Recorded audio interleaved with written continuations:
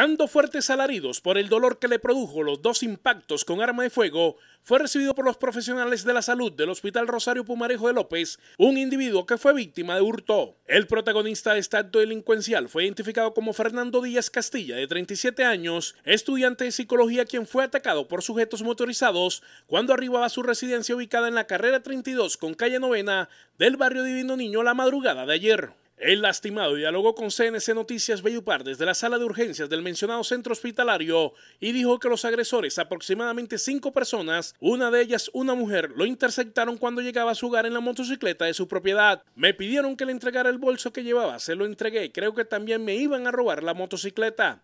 Salí corriendo y pedí ayuda cuando sentí que me hirieron en la mano y luego en una nalga, aseveró. El proyectil que le perforó el glúteo derecho recorrió parte de su humanidad y se quedó alojado en su pierna izquierda. Por fortuna no le comprometió ningún órgano vital. Fue algo impresionante lo que me tocó vivir en ese momento. Esos tipos se robaron mis documentos, mi celular, mis tarjetas y 400 mil pesos que tenía, puntualizó el baleado, quien fue sometido a una intervención quirúrgica. Su estado de salud es estable y se recupera satisfactoriamente. Es de anotar que en el lugar hay cámaras de seguridad que captaron el momento del ataque y que servirá como evidencia a las autoridades en la investigación de este hecho que fue denunciado.